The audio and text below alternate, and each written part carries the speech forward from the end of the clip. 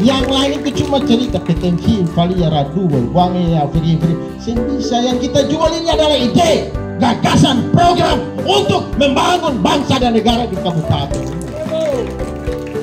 Bukan yang jual yang lain oke? Okay? Adi Manis Adi Meles. Silakan tampil di depan untuk memberikan tepuk tangan yang meriah dulu.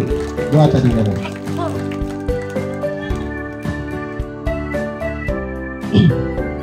Partai Nasdem bersatu, bersatu berjuang, berjuang menang menang menang. Yang Bapak Ibu masyarakat Desa Arudas yang malam ini duduk dengar simak baik-baik apa yang disampaikan barusan saja oleh Ipar Simon Lolonlun. Aruidas hari ini diberkati karena dua anak Aruidas tampil di satu partai maka kalau tidak ada beta maka ada Ipar Simon. Kalau tidak ada Ipar Simon maka ada beta. Tergantung nanti Tuhan pakai beta dan Ipar Simon untuk Bapak Ibu yang bersaudara. Beta di Somlaki disibukkan dengan kegiatan aktivitas. Tapi beta pun hati kecil ini selalu ingat Arwidas. Beta memang jarang datang di Arwidas, tapi satu tahun satu kali di siap di setiap Natal dan Tahun Baru pasti beta ada di sini. Betul gak sih? Ya. 2019 beta calon dari partai kecil yang saya punya suara apa-apa. Dari situ beta belajar maka di tahun 2024 ini beta datang di partai yang tepat, partai yang benar, partai yang menyatakan apa adanya kebenaran pargotong semua. Setelah 2019, setiap tahun pasti beta ada. Tapi ada orang yang ketika 2019 saya pernah datang, nanti mau pemilu, mau calon, baru datang. Betul gak sih? Ya. Bapak Ibu yang jauh-jauh di sana itu mari dengar, dengar, dengar beta bilang. Mungkin beta tidak perlu perkenalkan diri lagi. Pasti kakak Josi sudah tahu, kakak Vanus di belakang sana sudah tahu Depo ada ini siapa. Beta mau cerita, mungkin Bapak Ibu yang ada di sini dengar di berita orang datang bilang sengaja begini begini begini dengar. Yang paling center diberitakan oleh lawan-lawan oleh orang-orang yang bertanggung jawab yaitu kotong Partai Nasdem. Betul gak sih? Ya. Terutama kotong pun kader Nasdem terbaik Provinsi Maluku, Kakak Petrus Fatolon. Orang bilang waktu beliau menjabat Beliau tersandung kasus sana sini, kasus sana sini mulai dari kasus Taman Kota, dicari kesalahan beliau sengaja. Lalu kemudian kasus SPBD di bagian umum, dicari juga kesalahan beliau sengaja. Sampai yang baru-baru ini yang sementara bersidang di Ambon, kasus SPBD fiktif yang memakan korban ketompu enam basudara. Kebetulan beta ditunjuk sebagai kuasa hukum dari keenam terdakwa. Beta yang ada di persidangan. Jadi kalau Bapak Ibu ada yang datang bilang bahwa Petrus Fatlon atau kader-kader Nasdem itu nanti tersangka, itu parete. Kalau ada yang datang bilang begitu, tanya dong. Bapak, Bapak Hakim. Pasti jawabnya bukan hakim, Tanya lagi, Bapak. Bapak bilang begini, Bapak jaksa yang bersidang. Pasti jawabannya seng. Lalu kemudian tanya lagi, Bapak. Bapak bilang begini, Bapak pengacara yang bersidang, yang hadir di persidangan. Pasti jawabannya juga seng. Karena beta ini sebagai kuasa yang ditunjuk oleh ketumpung saudara ke-6 terdakwa. Kasihan. Kasihan. Orang datang fitnah sana sini, cerita sana sini hanya untuk menjelekan ketum Partai Nasdem. Karena apa? Kotong Partai Nasdem, caleg-caleg Partai Nasdem berbicara yang betul, berbicara yang benar. Kemarin beta datang tanggal 25 Desember beta bikin Natal di sini setelah itu beta cerita dengan kakak Anus dan kakak Ino. Beta kasih tunjuk beta pun handphone kakak ini rekaman persidangan. Kakak dong dengar bagaimana? Kakak dong bilang aduh adik selama ini kotong dengar yang seng baik seng baik saja tapi adik kasih tunjukin kotong tahu yang sebenarnya. Bapak Ibu kasihan persidangan SPPD fiktif yang terjadi yang sedang dilaksanakan di Ambon mulai dari pemeriksaan saksi pada tanggal 27 November sampai dengan terakhir persidangan 15 Desember itu ketemu orang Tanimbar malu orang biasa bilang daerah ini miskin ekstrim penyebabnya adalah dituduh kepada ketumpung kader Nasdem kakak sekretaris wilayah yang pada saat itu menjabat sebagai Bupati Kabupaten Kepulauan Tanimbar tetapi dorong tidak sadar bahwa fakta persidangan menunjukkan dan membuktikan bahwa yang miskin ekstrim pelakunya adalah orang-orang itu yang sekarang juga orang calon. Ini fakta Bapak Ibu. Dengar lalu beta cerita. Sidang tanggal 27 November tanggal 4 Desember menghadirkan Bapak Ibu anggota DPRD. Satu orang saksi pun seng ucap bahwa Petrus Fatolon itu di dalam. Tidak ada. Tidak ada. Beta saksi hidup. Beta punya mata di sehat untuk melihat, telinga sehat untuk mendengar.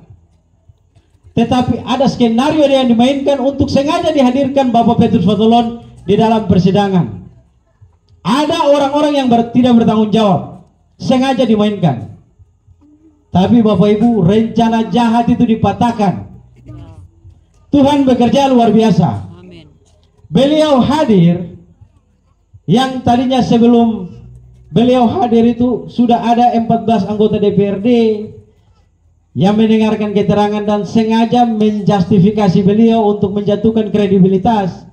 Beliau hadir tanggal 15 Desember itu dengan bukti-bukti yang otentik. Beliau menjawab dengan lugas dan tegas sambil menunjukkan bukti. Antua ini, lihat baik-baik Antua ini. Antua yang tulus membangun Tanimbar ini jadi kota orang Arui jangan dibodohi. Antua berjuang, para bapak ibu semua, beta saksi hidup. Kalau hari ini Antua hianati masyarakat, terutama masyarakat Darudas, maka hari ini beta sing berjalan dengan tua. Maka hari ini Parsimon yang berjalan dengan tua. Ya. Bapak Ibu belum pernah rasakan kalau nanti tanah di Arudas ini mau diambil oleh perusahaan luar, maka Bapak Ibu percaya beta, yang berdiri paling depan, yang berdiri pasang badan, yang berdiri rela mati para Bapak Ibu punya tanah, kotong pun tanah, hanya beliau ini, tepuk tangan untuk beliau.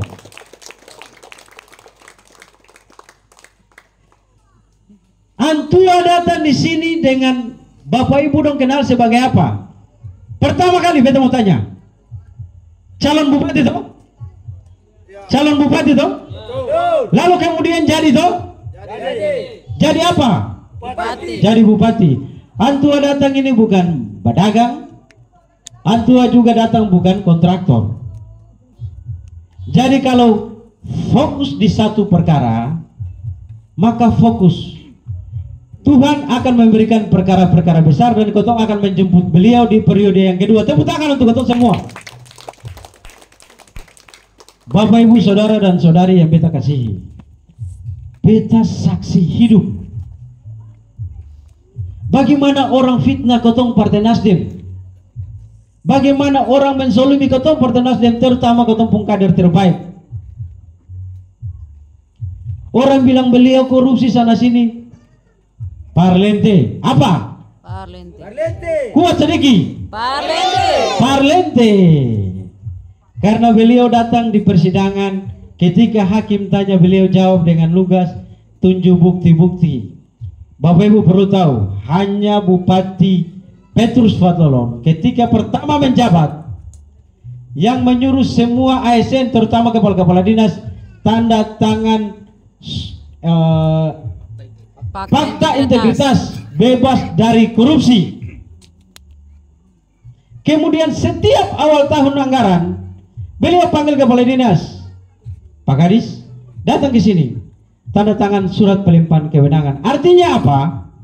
Beliau memberikan kewenangan penuh untuk kepala dinas mengelola anggaran-anggaran di semua dinas badan, masing-masing ke kepala SKPD. Ini fakta dan beliau tunjukkan. Awalnya ada saksi anggota DPRD oknum menerangkan bahwa penyebab korupsi adalah Pak Petrus Fatulon memanggil kami untuk 25 anggota DPRD untuk bersama-sama beliau mengatakan bahwa daerah ini kami yang atur Bapak Ibu Saudara-saudara dalam konteks pemerintahan daerah yang mengatur pemerintahan adalah bupati dan 25 anggota DPRD yang tadi Parmon bilang sampai saat ini saya ada satu perda Nanti belakang-belakang baru orang bilang bahwa saya ketua Bapen Perda. Buat perda sana sini. Bapak Ibu yang ada di dalam grup WA Arudas. Kemarin beta tanya begini. Oke. Okay. Kalau Bapak Ibu yang anggota dewan, kalau membuat rancangan produk hukum, maka satu pertanyaan bagi beta, apa landasan filosofi? Saya bisa jawab Bapak Ibu. Ipar mau nada? Saya bisa jawab. Lalu Bapak Ibu kualitas anggota dewan begini bagaimana? Iparmon dengan usia muda wartawan senior di Kabupaten Kepulauan Tanimbar tepuk tangan. Harus kau ngaku itu Putra Arudas Putra Arudas ya beta saya bisa sebut beta punya profesi. Ini ada apa? Ya. Dan fakta persidangan menunjukkan bahwa membuktikan bahwa sejumlah uang mengalir kepada mereka-mereka yang sedang bertanggung jawab. Bapak Ibu, mantan kepala BPKD yang saat ini bersidang di Ambon.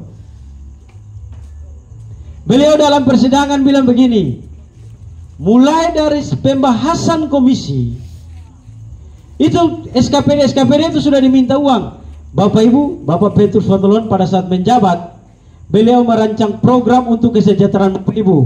Tetapi dibawa ke DPRD untuk dibahas bersama dan menetapkan anggaran. Dong minta uang. Ini program para Bapak Ibu pun baik. Betul. Tapi dong minta uang untuk bayar, baru kotong bahas. Bayar Itu dong. baru di tingkat komisi. Belum lagi di tingkat banggar. Minta lagi. Ini penjelasan kepala BPKD. Yang satu ini bersidang di Ambon. Kemudian di tingkat paripurna ketuk palu maka ada ucapan dari politisi senior ketumpung kakak Julius Layan dia bilang begini ade jangan kaget. Karena pemerintah dan DPRD adalah mitra. Ada tahu mitra kaseng ini yang tua selalu bilang beta mitra itu minta tanpa ragu-ragu. Tepuk tangan dulu buat beliau. Beliau ini politisi senior yang pernah juga menjabat di DPRD Beliau tahu seluk beluk rumah tangga, garam, cili, semua ada di DPRD. Jadi yang muncul di sana, beliau juga ada di persidangan pada saat Kotompung kakak sekretaris wilayah dihadirkan di persidangan. Dijawab dengan lugas habis sampai terakhir hakim bilang begini, Pak Bupati, hakim masih panggil Pak Bupati, Pak Bupati mau maju periode kembali ke periode kedua untuk kedua kali. Sukses ya. Lalu hakim anggota, tepuk tangan dulu buat beliau. Amin. Lalu masalah SPPD fiktif yang menelan kerugian negara yang diduga 6,6 miliar. Kasihan. Karena di 2020 yang muncul di pantai persidangan 2020 itu semua SKPD perjalanan dinas itu dipotong untuk dinaikkan ke perjalanan dinas DPRD sebesar 12 miliar. Bapak Ibu dengar beta bilang. 12 miliar perjalanan anggaran perjalanan dinas itu dipakai habis padahal 2020 itu sangat ada penerbangan. Maka ada temuan di BPKD. Lalu hakim bilang begini, beta tahu kau mampu keterangan ini parlente, bilang pardon yang lain di luar beliau. Beta tahu kau mampu keterangan ini parlente semua. Jangan sampai SPPD ngomong yang 12 miliar itu sampai di sini. Beta tunggu. Bapak Ibu, apa yang beta sampaikan ini fakta. Apa yang beta sampaikan ini fakta di dalam persidangan. Jadi Bapak Ibu jangan pilih orang-orang itu. Mari ketong sama-sama kasih putus mata rantai itu.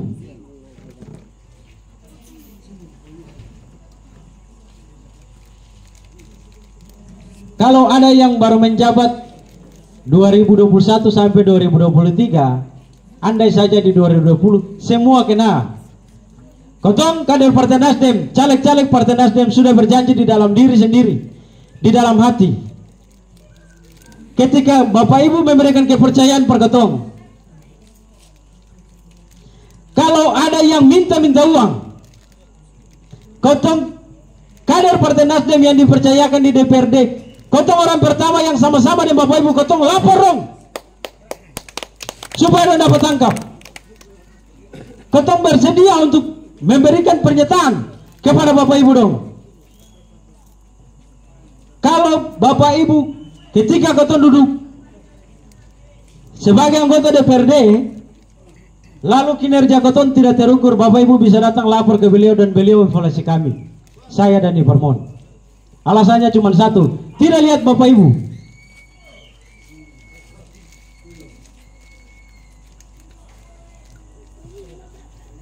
Masih banyak yang beta mau bilang, masih banyak yang beta mau cerita. Tetapi beta pikir kau dibatasi oleh waktu. Mungkin itu saja dari beta. Kalau Bapak Ibu yang percaya apa yang tadi beta cerita ada di beta po handphone. Nanti habis ini bisa datang di beta. Amo, puter yang tadi itulah kau nonton. Nanti beta kasih nonton. Asik, asik. Putar yang tadi itu lalu kotong kasih de kotong dengar. Nanti beta kasih dengar. Sekian dan terima kasih. Salve. Partai Nasdem. Satu berjuang menang, menang, menang, menang. Ulang. Partai Nasdem. Bersatu berjuang menang, menang, menang. Selamat malam Berningkatimin Mono.